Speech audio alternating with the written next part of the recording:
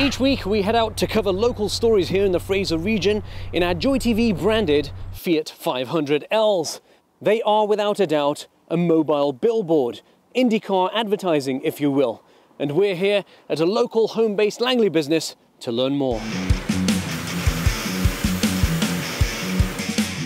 So in the first building we have production happening here. Um, we're to be shipping out a bunch of projects today, so it's kind of uh, a gong show in there. There's to be lots of snippets of vinyl going everywhere. Production is print, lamination, cut, weed mask, that type of thing. And then um, in the next building here, there's to be installation happening.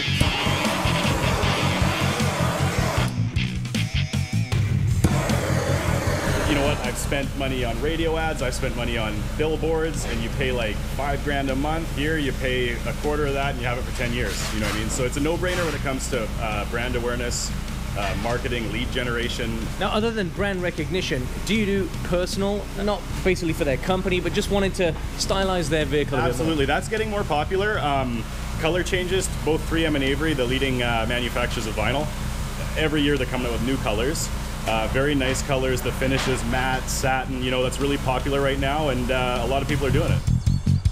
Trucks, boats, RVs, uh, ice cream trucks, food trucks. We get walls, we get windows, we get buildings, we get floors. Oh yeah, it's pretty much what we do. If you can stick it, we can do it. we got a keg out there. People bring in uh, hockey helmets. Uh, yeah, this is kind of out of uh, the ordinary. We don't usually do these. Uh, a big teacup. Yeah, a big teacup. and what's been your most craziest projects you've had to work on here tonight? A you, toilet? You've wrapped a toilet. Gold. Gold chrome. Yeah, we wrapped a gold chrome toilet.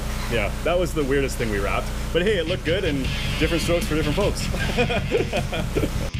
the Joy TV fleet is powered in part by Toyo tires and we're delighted to be contesting out a pair of Toyo branded Elan racing skis.